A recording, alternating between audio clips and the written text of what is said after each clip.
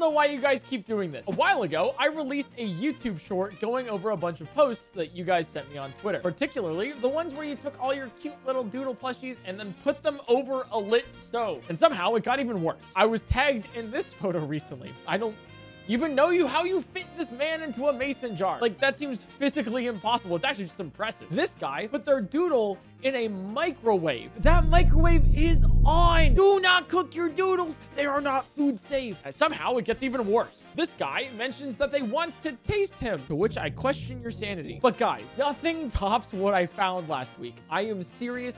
I do not know how it could get worse than this. This guy strapped his doodle plushie to the grill of his 18-wheeler truck. I'm going to regret saying this, but you can get your own plushie at collectorsanxiety.com. Please treat him well.